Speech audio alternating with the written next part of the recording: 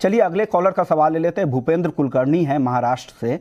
इनके पास IDFC first bank के 50 share है 66 रुपए के भाव पर। आ, नि, तो नीलेश जी क्या करना चाहिए? इनको आईडीएफसी फ़र्स्ट बैंक है 50 शेयर है इनके पास। क्या करें ये अब? देखिए 66, 68 इस पर्टिकुलर जोन में हमने एक मेजर रेजिस्टेंस देखा था। उसके बाद लगातार काउंटर में गिरावट का दौर देख रहे हैं। Lower top and lower top formation भी बन रहे हैं। आप पिछले अगर दो से तीन महीने का स्ट्रक्चर देखें तो एक साइडवेज रेंज में काउंटर ट्रेड होता हुआ नज़र आ रहा है। 54 ये एक इमीडिएट हर्डल है।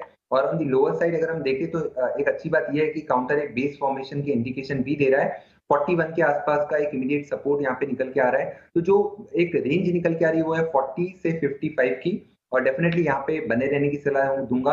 और यहाँ पे अगर गिरावट होती है तो उसे यूज़ करना चाहिए एवरेजिंग आउट करने के लिए पोजीशन को।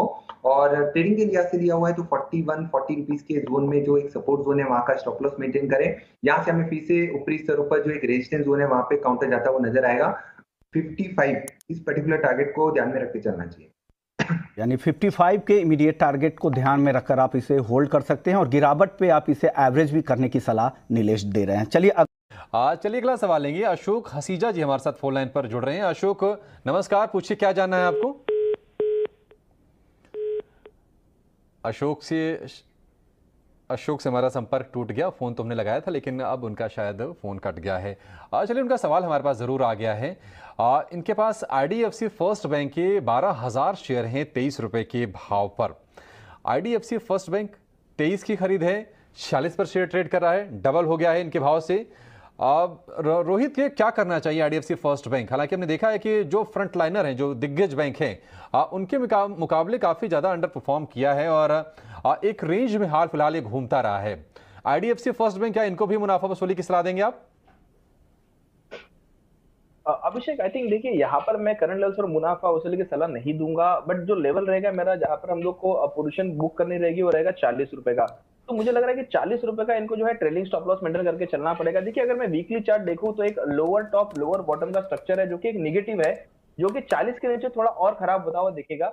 बट जब तक ये 40 के ऊपर ट्रेड कर रहा है, एक बार उम्मीद की जा सकती है कि वापस चौवन पचपन रुपए के ऊपर निकले और फिर वहाँ से एक बड़ा मुँह आ सकता है। मुझे लग रहा है कि as of now current level से जो इनका स्टॉप लॉस बन रहा है, वो चालीस रुपए का रहेगा।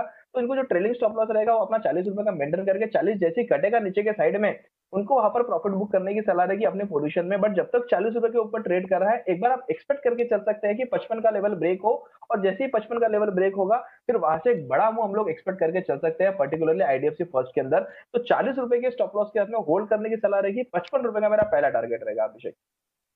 ठीक है।